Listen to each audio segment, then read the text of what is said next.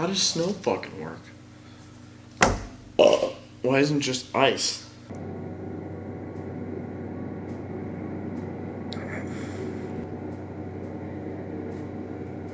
Hey guys, what's up? In today's video, we're building a pretty, I would say interesting, little gaming PC inside of this. Yes, believe it or not, this tiny box is actually a computer case.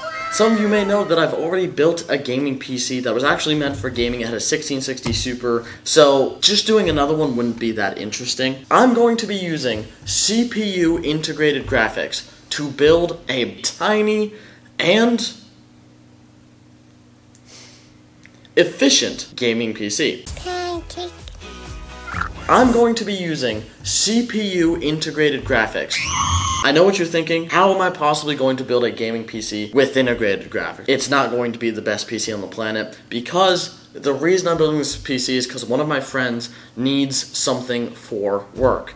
They just need to do some basic typing and stuff because their laptop is currently broken. So they just need to borrow something to get some work done in the meantime until their laptop is fixed. Big problem is that currently, at the time of filming this video, February of 2021, it is nearly impossible to get new CPUs and new graphics cards. And as you can see by the motherboard box, in today's video we're using the Gigabyte Z97N Gaming 5.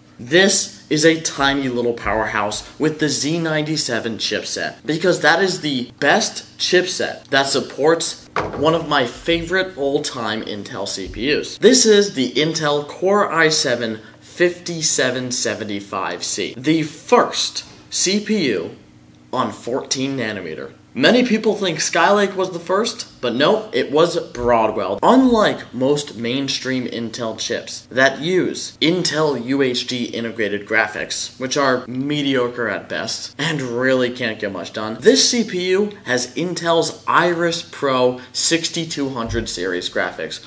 Even though this CPU is actually relatively old, it still has better graphics than most modern Intel CPUs. Not to mention, this CPU also has 128 megabytes of EDRAM. So, I've been doing a lot of Ryzen builds recently, so I haven't really installed an Intel CPU in a while. So I'm just going to do that simply. I'm not to do any overhead or anything. Put that in, close that. And just like that, our CPU is installed. It's, again, super easy to install CPUs, even older ones. I need RAM.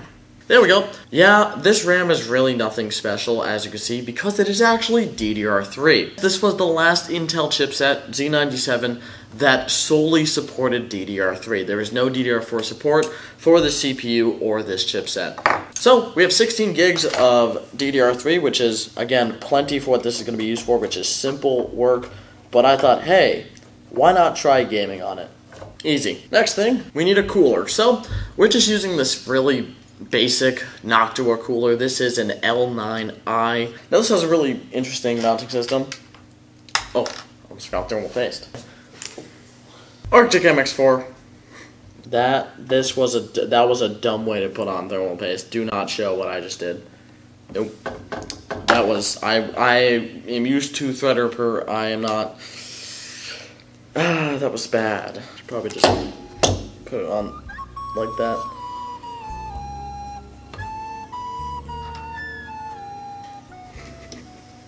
Alright, so, yep, easy cooling, easy mounting. I'm insane.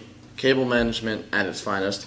And uh, our cooler's installed, and our entire motherboard is done. We can actually install this in our case now. So cute. Look at it. I, I know. I, yeah. Where? So the one thing is that this does install in our case upside down um, because the PCI riser uh, comes out at the top and goes behind so that the card and motherboard are next to each other like this. IO shield already installed. So uh, it's a little bit weird mounting, but it should be absolutely fine. It's actually a really fully featured motherboard. It's got all 7.1 audio, eSATA, eSATA, integrated eSATA, NZXT, Trident ZRGB, and then we have uh, Ethernet as well. I did a, a fuck up. Either broke that or fixed it. So our motherboard is installed. It's kind of weird how it like floats in the case, but that's not going to be for long. Let's get our power supply. This is what's known as a Flex ATX power supply. At about 1 U in height, one server unit in height, and well, this much in width, however much that is, these PSUs are actually really small. But it doesn't mean they can't be powerful because this is the Silverstone FX500. This is a 500 watt, 80 plus gold Flex ATX PSU. Silverstone actually sent it to me to use in this case. I've used it in a build before. I did a review of it. This thing is awesome. Of course, I will leave Amazon and store page links to all of the products that I use in this video below that are relatively recent. Alright, so after some cable uh, management, we ended up with this. It's in the case airflow's not restricted, the side panel will fit on, so I'm completely fine with that. I did mention before that we're using integrated graphics in this build. Despite having a PCIe slot that's already routed and we could easily use a pretty high power graphics card as long as it fits in here. The reason we're not using a graphics card in today's build is because the person who will be using this build has given me the SSD from their laptop so that it has all their files on it and stuff like that. This way they can actually just get right back to work using this PC until their laptop is back. But the only problem is that I'm using an older chipset because it's really the only ITX board I have available right now. And Z97 is not famously known for having M.2 slots. That's more Z170 and on that had M.2 slots, and NVMe SSD support on the board, booting from PCIe, all that kind of stuff. What I have found is that this board does support booting from PCIe despite not having an M.2 slot. But how do I do that? Well, with one of these. This is an M.2 to PCI Express 4X adapter. Underneath this heatsink is a 1TB NVMe SSD, just adapted to a normal PCI Express 4X slot, so we can actually just slot that right there, and that's the storage for our system. Let's get this thing booted up and tested. Alright guys, let's turn on our power supply, and our front button is right here. We got fan spin, and it's stopped. I hated that it does that. This Noctua cooler, Noctua fans in general, I don't know why they do this, but on boot, for some reason, they just stop spinning and then will start up again. That annoys me. I hate Noctua fans that they do that.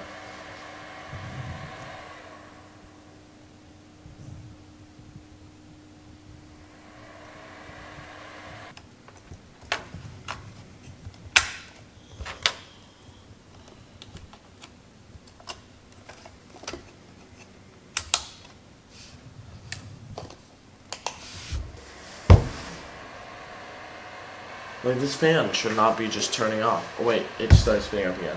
Fucking hell. It's, it's RAM. I don't know what is wrong with my RAM.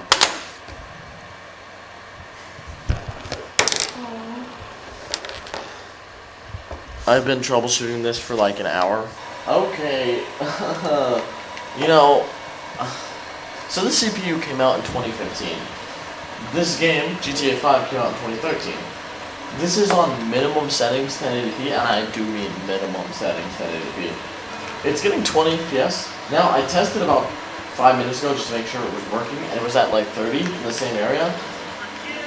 I'm a little confused, but our CPU is only boosting to like 2.4 gigahertz, which shows that our GPU is extremely bottlenecking our system. Yeah, we're getting about 20 FPS right now, according to MSI Afterburner. Yikes. I mean, hey, it's still slightly playable, it just looks like potato. I mean, you can still commit crimes.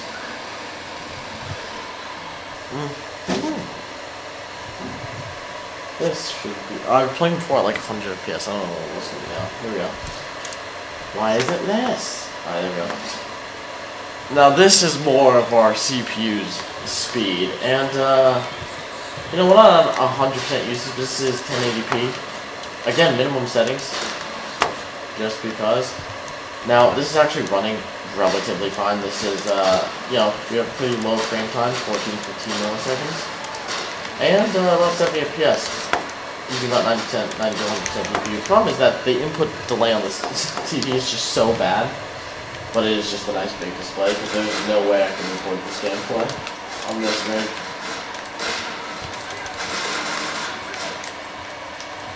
You know, I'm gonna be honest. I kind of expected a little bit more from these integrated graphics because they are the Iris Pro, so they should be well pro. But I don't know. I've just been I've been bamboozled.